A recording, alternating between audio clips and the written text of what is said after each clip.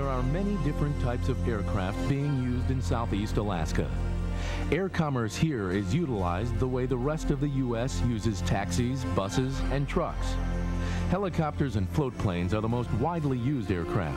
However, fixed gear and retractable gear aircraft are found in most Alaskan fleets. Be sure to monitor a local radio frequency at all times and make frequent position reports. It's important that you file a flight plan and stick to it. Then, if an emergency landing is imminent, the radio is already set to make a report. Be aware that several large air carriers land at Ketchikan, Wrangell, Petersburg, Sitka, Gustavus, and Juneau.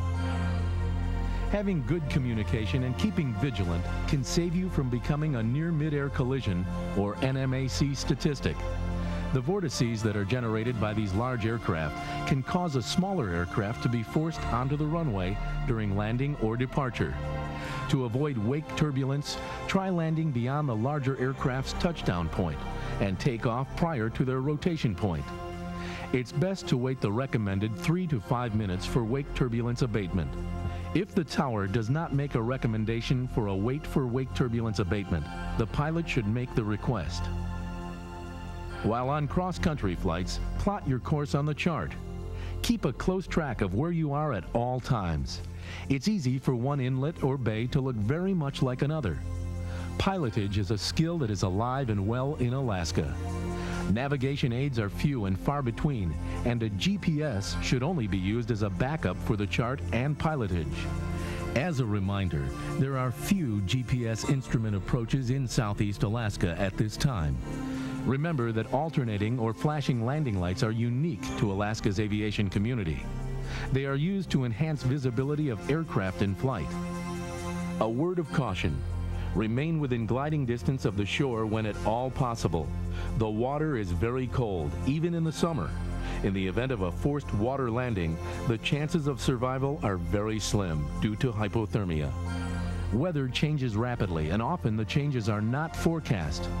Making a 180 degree turn and a precautionary landing at the first available landing area, even a beach, can save your life. Pilots often wait out bad weather at an outlying strip or beach.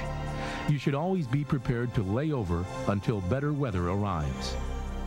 If the wind is blowing, chances are the skies will be clear, but the ride bumpy. Wind can be seen on the water in the form of whitecaps. This indicates that the water could be too rough for landing a float plane. It's wise to call flight service prior to departure to see what the surface conditions will be at your intended airport destination. As the saying goes, if you don't like the weather here, just wait 10 minutes.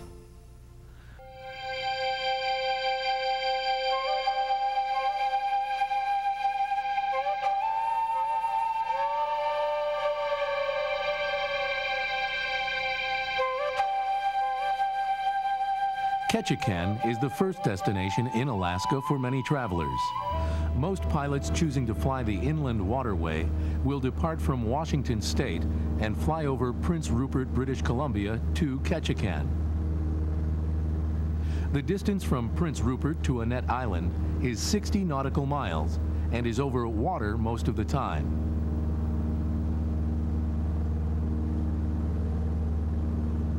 Victor Airway V309 is the shortest route and will cross Duke Island prior to reaching Annette Island VOR.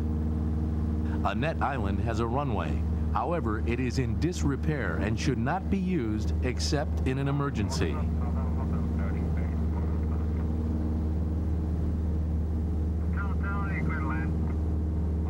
The approach to Ketchikan is pretty straightforward from Annette VOR up Nichols Passage.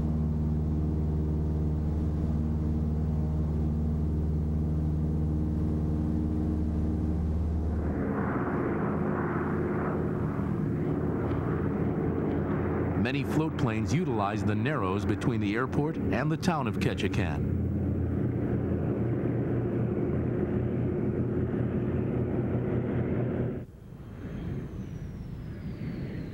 Large air carriers land at the Ketchikan airport and frequently approach from the VOR, so keep a heads up at all times. Ketchikan has a special rural area FAR 93 that all pilots must contact Ketchikan Flight Service Station for traffic advisory prior to and while departing the area. For that purpose, Ketchikan Flight Service Station acts much like a control tower, with the exception of clearing a pilot to land or take off.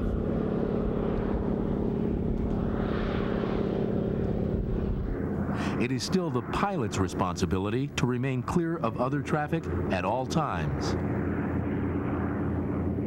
The terrain surrounding Ketchikan Airport is steep and unforgiving. Off-airport landing areas are few or non-existent. Flight to Ketchikan on a good VFR day is easy enough. On an IFR weather day, avoiding the terrain is dependent upon good planning and IFR currency. VFR flight on marginal VFR days is discouraged. The NDB approach to runway 11 calls for a missed approach at the missed approach point. Executing the missed approach procedure prematurely could put you into the mountain that is right beside the runway. Study the terrain features carefully before flight into mountainous areas. Landing on runway 29 necessitates a back taxi to the taxiway.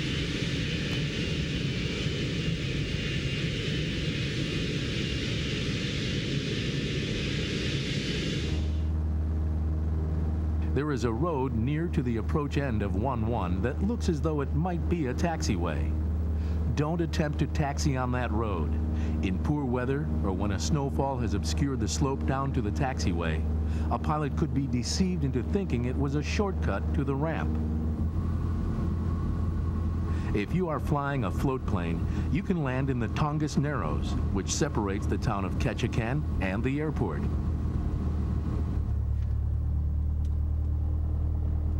Traffic in the Tongass Narrows can become congested with boats, aircraft, cruise liners, personal watercraft, and the ferries that take visitors from the airport to town. Aircraft landing in the Narrows must have contact with Ketchikan Flight Service Station also, and are expected to make contact prior to entering the Class E airspace. Fuel and tie-down space is available, and flight service is located on the field for ease in getting weather and filing flight plans. The next stop on a trip northwest might be Wrangell, located on the northern tip of Wrangell Island. Wrangell is a small fishing community and is an airport of entry along the Inland Passage. The town is picturesque and quiet and has excellent fishing in the summer. Departing Ketchikan, Vallenar Point is a reporting point for incoming traffic to Ketchikan Airport, so remain to the right of the Tongass Narrows until well past the inbound traffic pattern.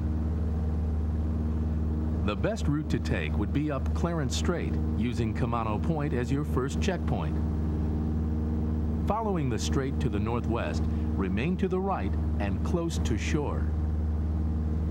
At Meyers Chuck and Union Bay, turn right into Ernest Sound.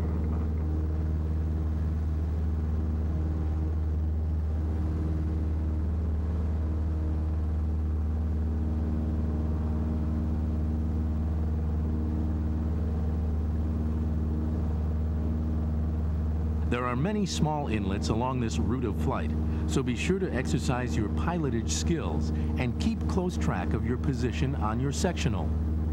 At the northwest end of Deer Island, you will need to turn left up Zimovia Strait around the west side of Wrangell Island. Should you continue into Ernest Sound, you will find yourself approaching Bradfield Canal.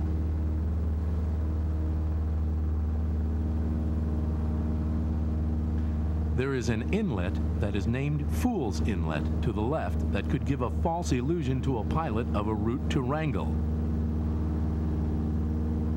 Further on towards Bradfield Canal is Blake Channel.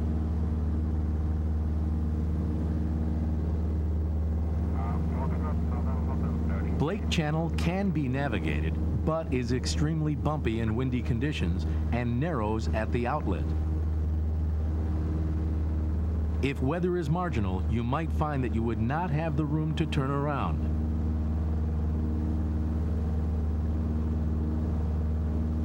The narrow channel does open into Eastern Passage, but is infrequently used as a route to Wrangell.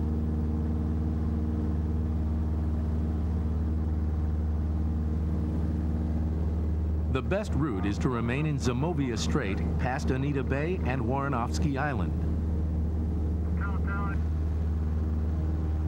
There is a road to your right that will lead you to the town of Wrangell and around to the airport.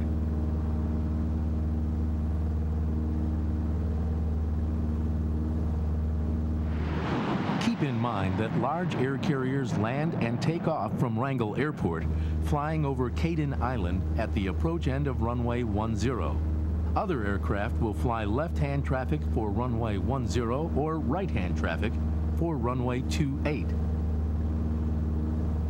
Fog often forms near the airport, so be sure to update your weather briefing before leaving for your trip.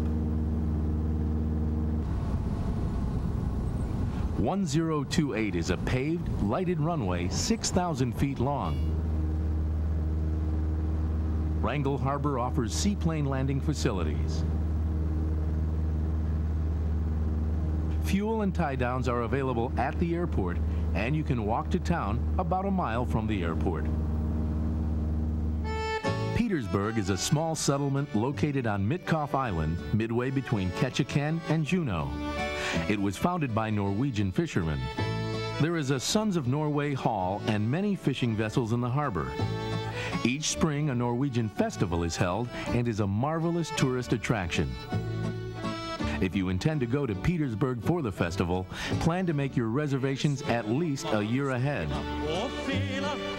The town of Petersburg is one mile from the runway and can be walked to easily. Runway 422 is well maintained and lighted.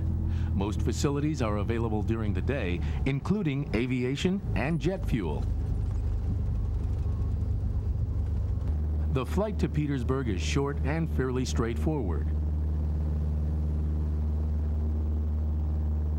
After departing Wrangell, fly to the right of Kadin Island and to the left of Sergief Island through Dry Strait. Dry Island and Farm Island, which do not appear to be islands at all, will be off your right side.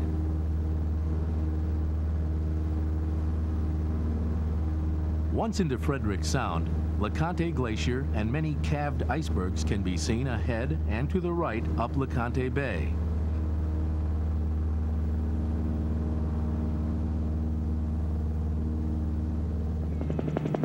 Tour operators fly to LeConte Glacier in the summer months, so be alert to traffic flying in and out of the area. Fredericks Point NDB is on the left side just prior to reaching Petersburg.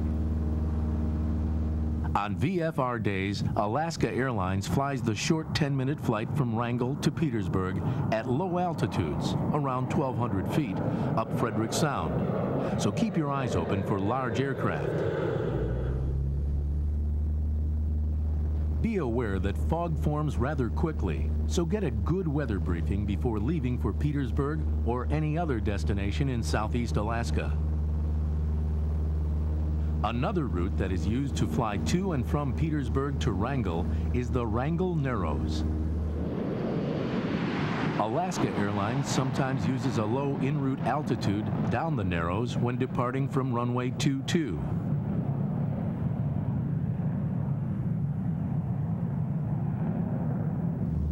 It is a picturesque route and fairly easy to follow with some planning. Departing Petersburg towards Wrangell, follow the road and power lines off your left past the power plant through a pass towards Sumner Strait.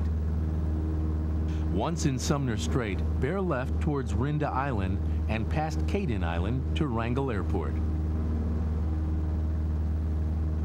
To fly to Juneau, fly up Frederick Sound to the Stevens Passage then north direct to Juneau.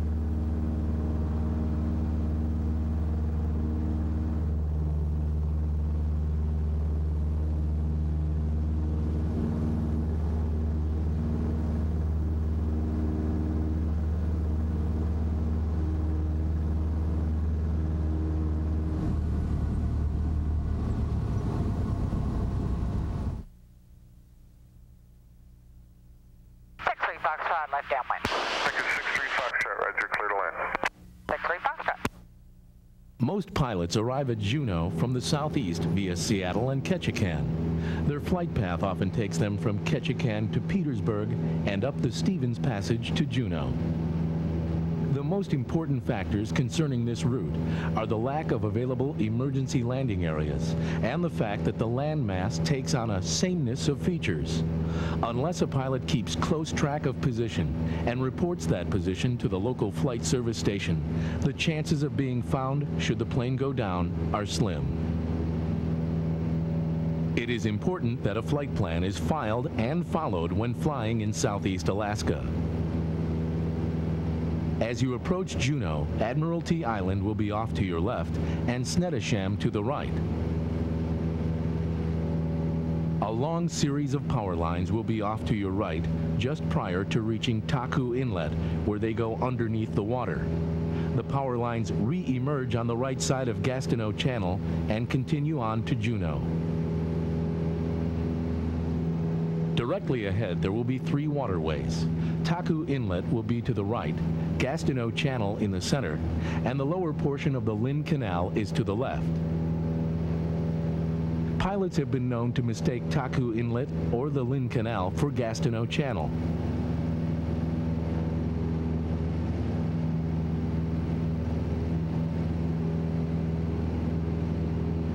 Order to avoid the congested area in the Gastineau Channel, it would be prudent to fly around the far side of Douglas Island to arrive at Juneau Airport.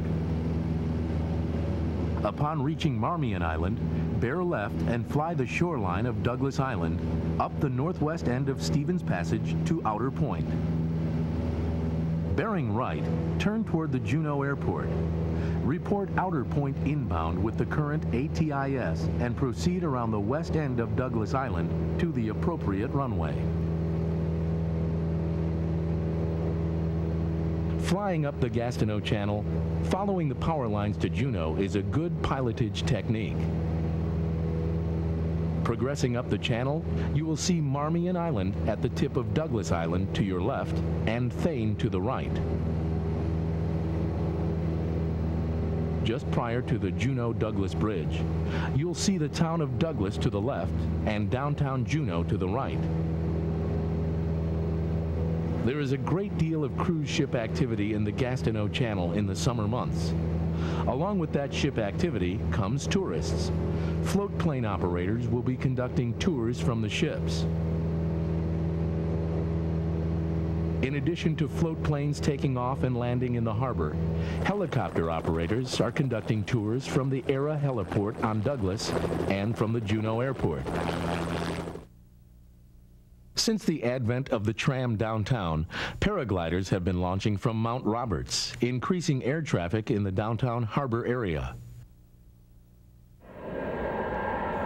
Alaska Airlines is also using the Gastineau Channel for arrivals and departures. While in the area of the downtown harbor, prominent reporting points used by local traffic are the Rock Dump, Sheep Creek near Thane, and Mayflower Island off of Douglas. Approaching Juneau Airport, the bridge is a reporting point and the start of controlled airspace. Just north across the bridge and to the right in the harbor are the downtown transient float plane docks. The Douglas-era Heliport, Salmon Creek, and Vanderbilt Hill, a housing development on a hill to the right of and just prior to the airport, are also used as the final reporting points prior to touchdown at the airport. The Juneau Airport has a float pond landing area adjacent to the runway. The float pond is heavily utilized in the summer months. It is closed in the winter because it ices over and is unusable. Float pond traffic communicates with the tower for approach and departure.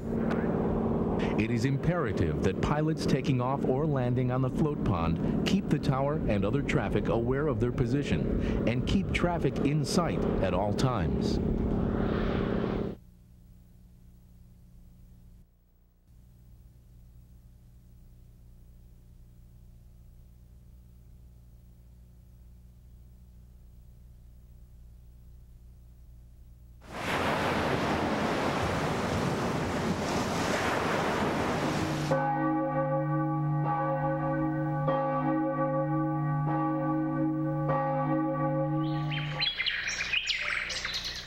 Sitka is one of the most scenic and historically rewarding destinations to fly to. The airport has full facilities and hotels are nearby. The area surrounding Sitka is difficult terrain to navigate because there are numerous islands, bays, and inlets that soon begin to look alike. Even well-seasoned pilots have been known to become disoriented in this area, so use your chart. Be sure to report to the Sitka Flight Service Station before entering the airspace when flying in reduced visibility. Departing Juneau towards Outer Point, fly south to Young Bay. Across the Mansfield Peninsula of Admiralty Island to Hawk Inlet. And down to Chatham Strait. Hawk Inlet off the Sisters VOR 080 degree radial is a good waypoint. Continuing down Chatham Strait, Freshwater Bay and Iokene Peninsula are prominent reporting points to the right. East across Chatham Strait from Freshwater Bay is a logging camp in Cube Cove. This is just one of many logging operations you will see in southeast Alaska. Tenakee Inlet, where the town of Tenakee Springs is located, is just beyond Freshwater Bay. The next really prominent checkpoint is Angoon on Admiralty Island on the east side of Chatham. The desired flight path should be to the west side of Chatham Strait. A right turn up Peril Strait will bring you past Catherine Island, which should be on your left as you fly up Peril Strait. As you progress up Peril Strait, Rodman Bay will be off to your left just before going around the Duffield Peninsula. Rodman Bay appears just before Otstoya Island. Otstoya Island is not named on the chart, but is one of two islands, Otstoya being the larger, located at the entrance to the south arm of Peril Strait. Follow the shoreline along Peril Strait after leaving Rodman Bay, past Dead Man's Reach, towards Fish Bay. As you can see, weather can change very quickly. We moved from overcast to rain and rime ice forming on the windshield in less than two minutes. This video was shot in August. After passing Fish Bay, continue down Salisbury Sound toward the open ocean. The next inlet to the left will take you around Partofshikof Island and direct to Sitka.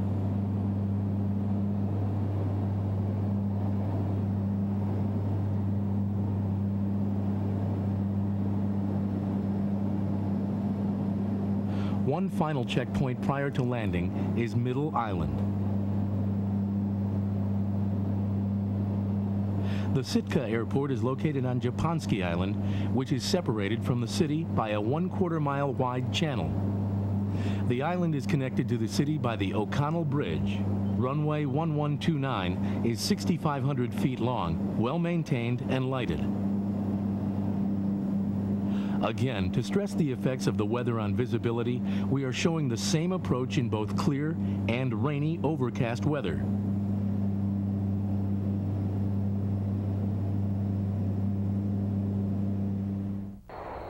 Be advised that there are Alaska Airlines approaches and departures at several times during the day and into the evening from Biorka Island VOR.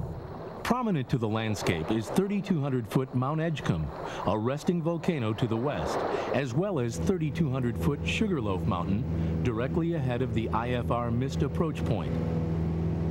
The IFR missed approach from the NDB, or VOR, located on Biorka Island, can be especially interesting.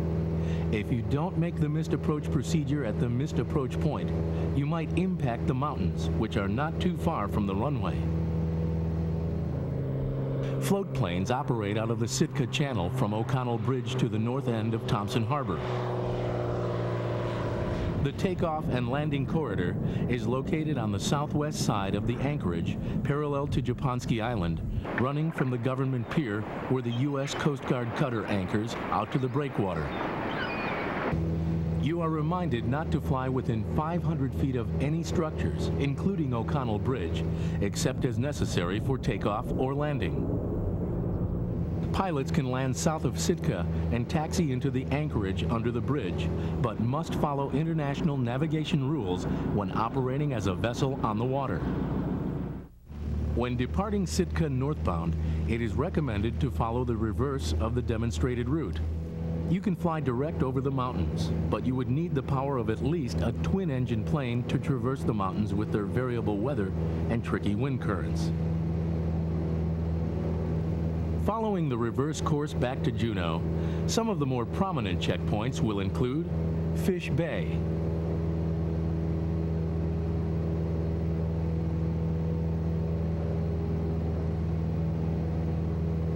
Dead Man's Reach,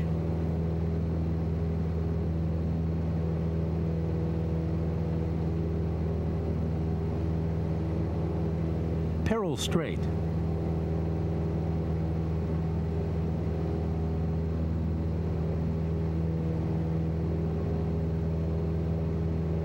Catherine Island, as you leave Peril Strait and enter Chatham Strait,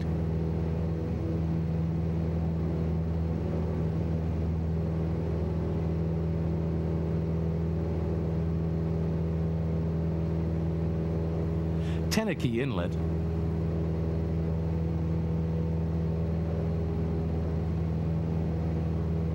Hawk Inlet,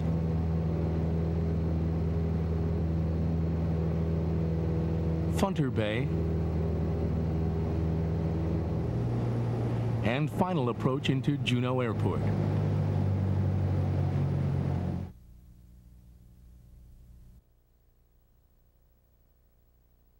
The 70 nautical mile trip to Skagway from Juneau is fairly straightforward. One noteworthy item is the lack of beaches in the area. The slope of the mountains continues to the bottom of the canal, causing small rocky outcroppings in most areas.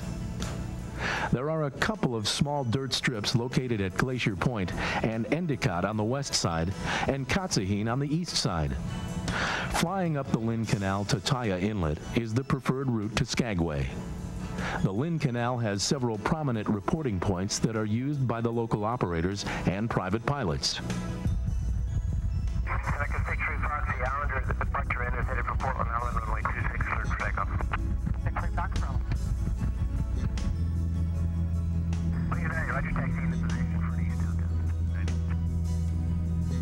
After departing Juneau to the west, you should fly to the right side of Lynn Canal, close to the land mass. Utilize the hemispheric rule for determining your flying altitude. The first prominent departure reporting points are Lena Point,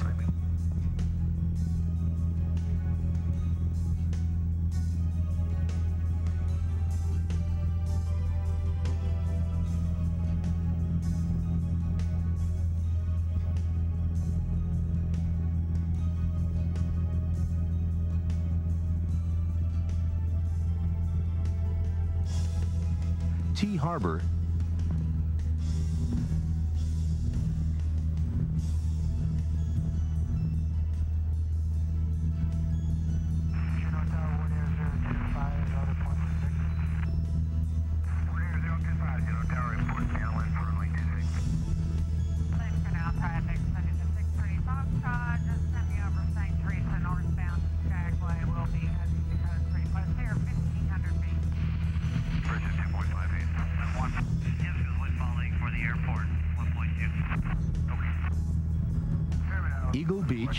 and Benjamin Island.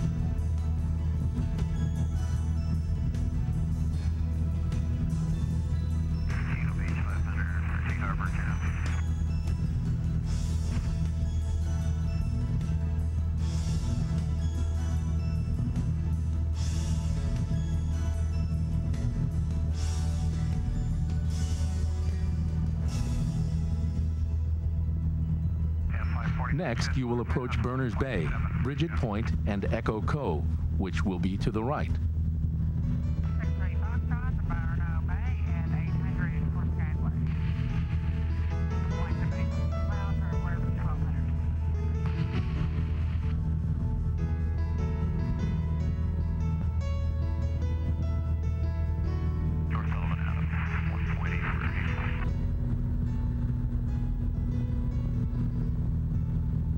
Passing Berners Bay, Point St. Mary's is the next reporting point.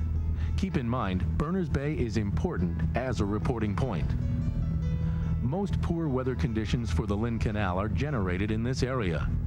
Katabatic winds descending from the ice fields to the north of Berners Bay can create fog or turbulence depending on the temperature dew point spread.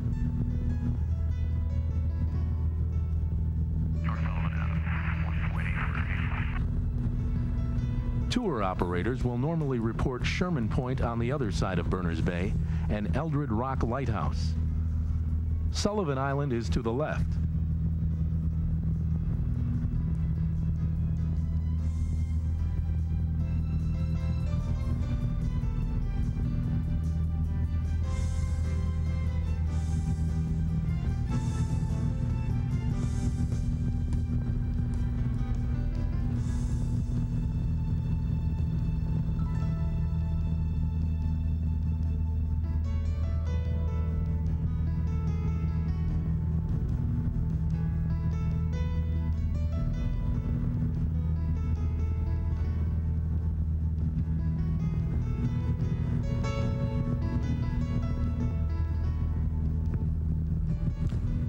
The canal splits at this point, with Chilkat Inlet leading to Haines to the left, while Chilkoot Inlet bears right to Skagway. Sherman Harbor 1004 Haines. 63 Foxtrot and Continuing to follow the shoreline to the right, the canal splits again, forming Lutak Inlet to the left, which is a dead end. On the right is Taiya Inlet, which takes you to Skagway. Once in Taiya Inlet, report Taiya Point and fly to the left side of the inlet to conform with prevailing traffic in the area. Skagway. Tank 7 indicating 125.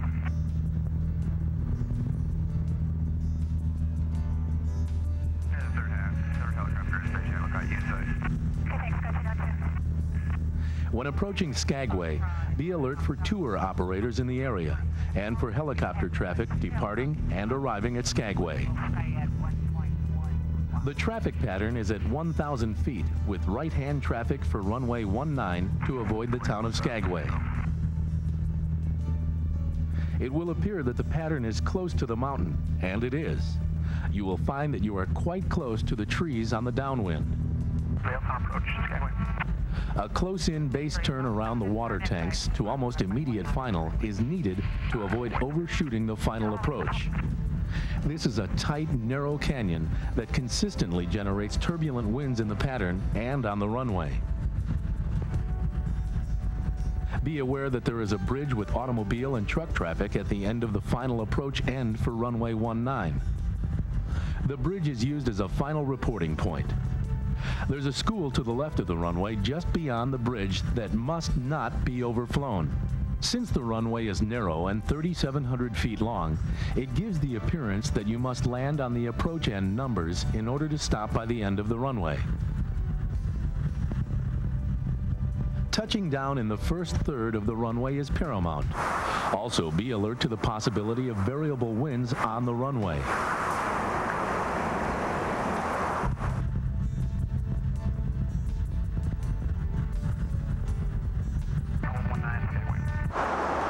Tour operations generated by the cruise ship industry in the summer are extremely busy conducting glacier tours. Multiple flights depart and arrive at the same time, making pattern entry awkward. Good communications are the key to safe entry as well as departure.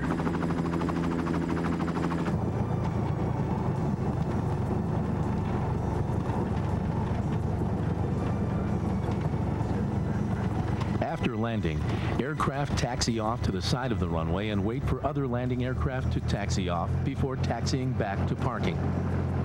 Be aware that several aircraft are apt to be back taxiing to parking areas at one time.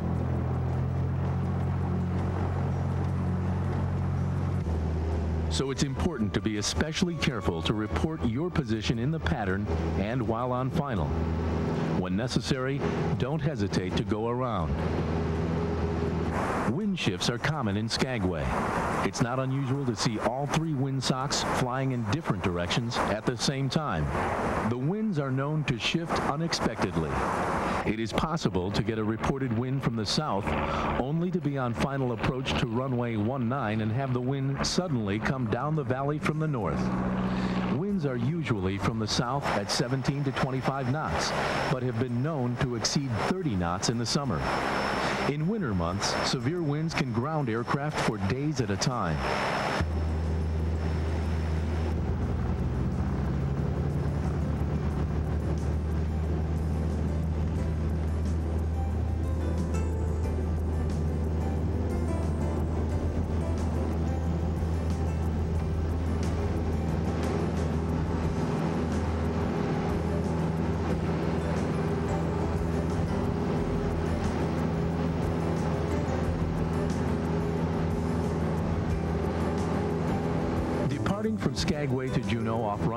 19. After clearing the shoreline, turn to fly to the left of Taiya Inlet and retrace your steps to Lena Point.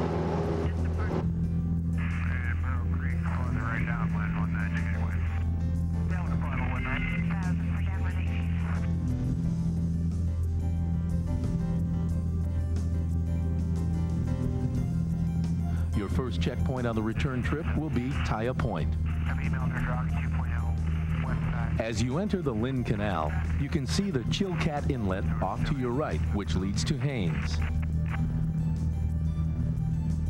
Port third for downwind eight, number two. Your next set of checkpoints will be Sullivan Island to your right and Eldred Rock Lighthouse.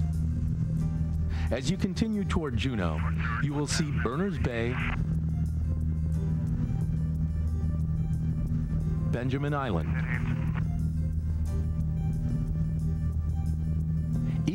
Beach,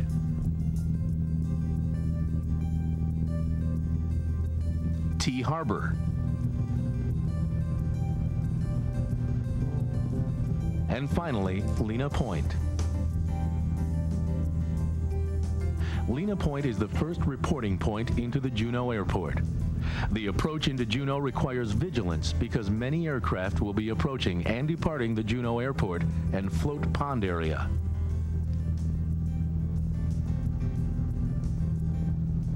Subsequent reporting points when approaching for runway 08 are Coghlan Island, then Battleship Island, if requested, the cut, south tip, and final approach.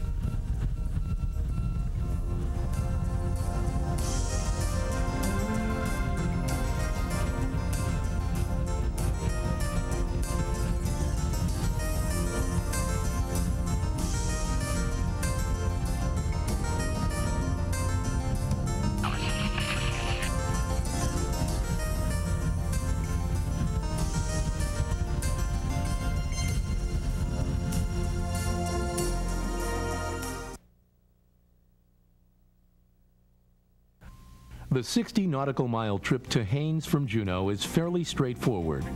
One noteworthy item is the lack of beaches in the area. The slope of the mountains continues to the bottom of the canal, causing small rocky outcroppings in most areas. Flying up the Lynn Canal to Chilkat Inlet is the preferred route to Haines. The Lynn Canal has several prominent reporting points that are used by the local operators and private pilots.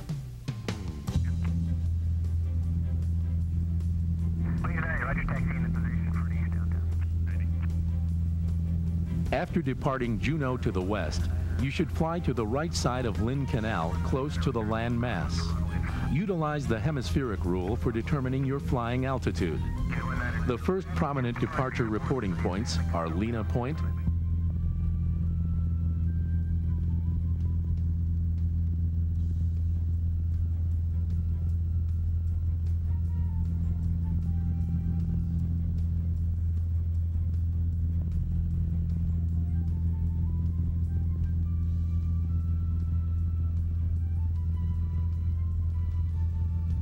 Tee Harbor,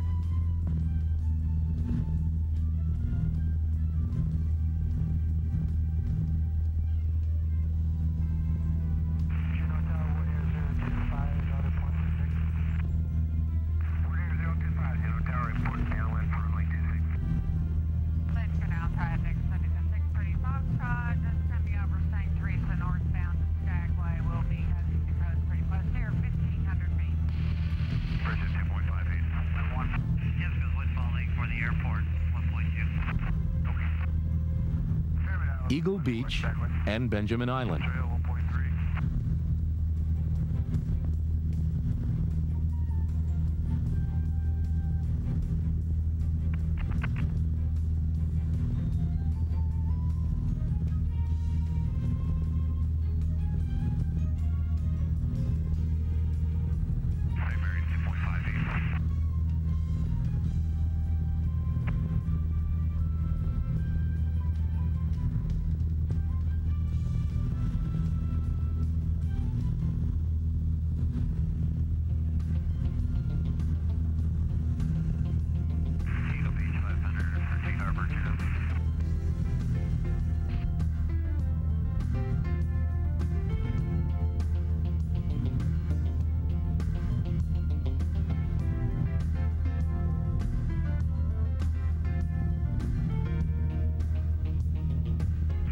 Next, you will approach Berners Bay, Bridget Point, and Echo Cove, which will be to the right.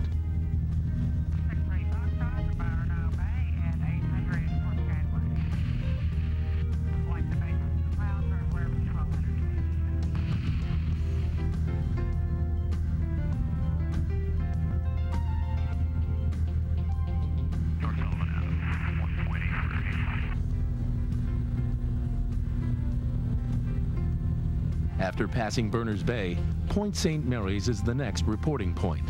Keep in mind, Berners Bay is important as a reporting point. Most poor weather conditions for the Lynn Canal are generated in this area. Adiabatic winds descending from the ice fields to the north of Berners Bay can create fog or turbulence depending on the temperature dew point spread.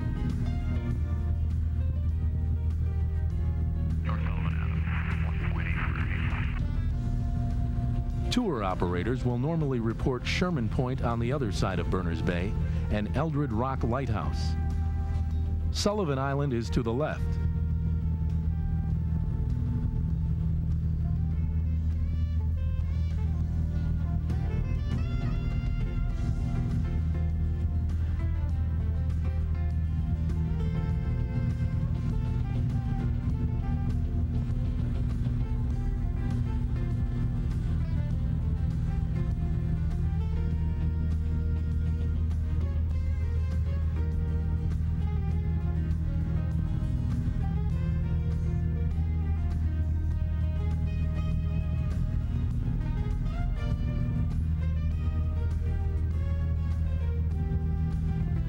In the vicinity of Eldred Rock, pilots frequently cross the Lynn Canal towards Sullivan Island to fly up the Chilkat Inlet to Haines.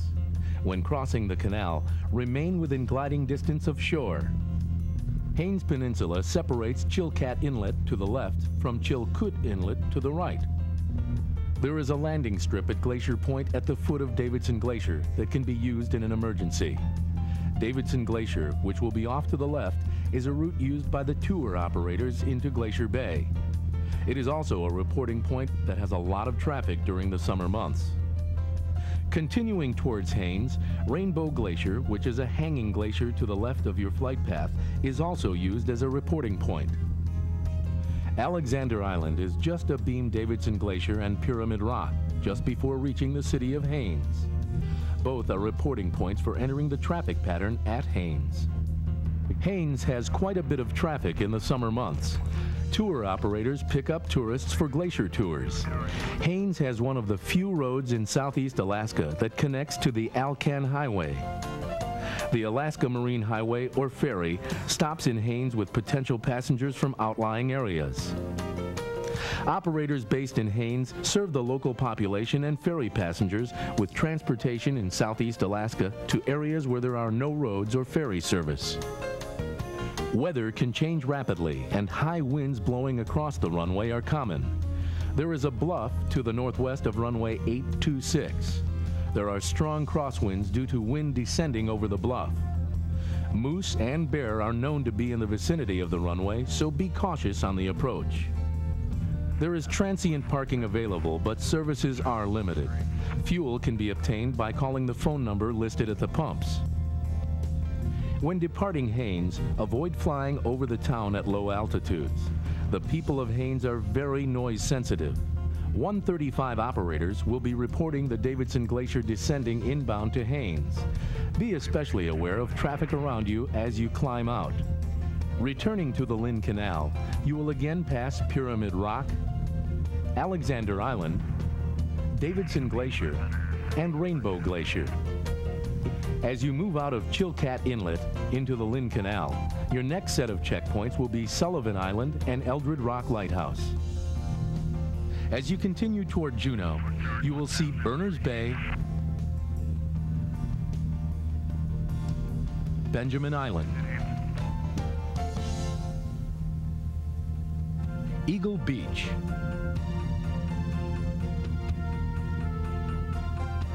Tee Harbor, and finally, Lena Point. It is important that you know where the reporting points are located in order to spot reporting traffic in the Lynn Canal. Alaska Airlines VFR descent is across Barlow Cove to the Cut or Funter Bay to South Tip. Be alert to traffic arriving from the southwest. Lena Point is the first reporting point into the Juneau Airport. The approach into Juneau requires vigilance because many aircraft will be approaching and departing the Juneau Airport and Float Pond area.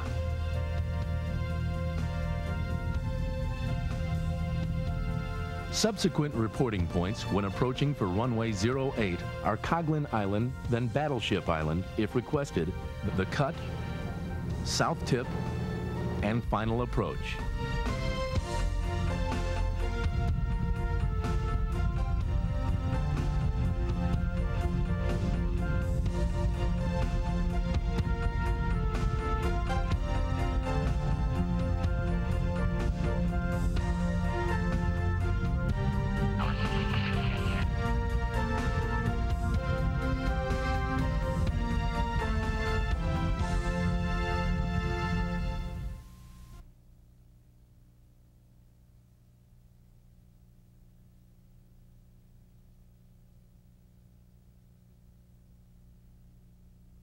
Gustavus is a popular airport because of its proximity to Glacier Bay Park and campgrounds.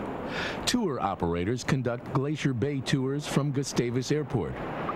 There is wildlife in the vicinity of Gustavus Airport. Bear have been known to transit the runway from time to time. There is a cabin near the airport, and the occupant transits the runway periodically. So be ready for a possible go-around. On departure from Juneau Airport, depart westbound towards Barlow Cove at the north end of Admiralty Island or Funter Bay. The next reporting point en route to Gustavus will be the Couverden Islands towards Icy Straits. Be aware that jet traffic can exist over the area of Couverden. Sisters Island VOR will be located off to your left. Sisters is an approach fix for Gustavus IFR traffic. Continuing flight up Icy Straits will bring you to Excursion Inlet to your right and Porpoise Islands and Pleasant Island. Pleasant Island is the final reporting point for landing at Gustavus. Gustavus has two runways, 0119 and 1028. At 6,700 feet long, runway 1028 is the longest and widest runway and is used by small aircraft as well as Alaska Airlines. Runway 0119 is closed from the time the Alaska Airlines jet aircraft is at the final approach fix to Gustavus until 15 minutes after departure of the Alaska Airlines aircraft. Alaska Airlines parks at the terminal, taking up most of the available runway and ramp at that location. Transient parking is located at the approach end of runway 01, and fuel is available with the use of a credit card. Departing from runway 19, you will cross a noise-sensitive area consisting of several homes and businesses. Be neighbor-friendly. Departing runway 10, left-hand traffic is suggested. Depart downwind, then direct to Pleasant Island.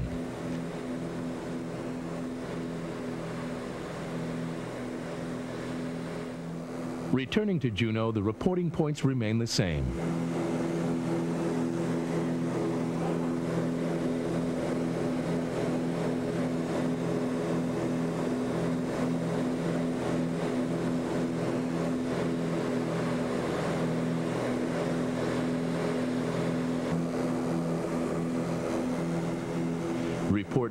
Island, the beginning of Class D airspace, or George's Rock.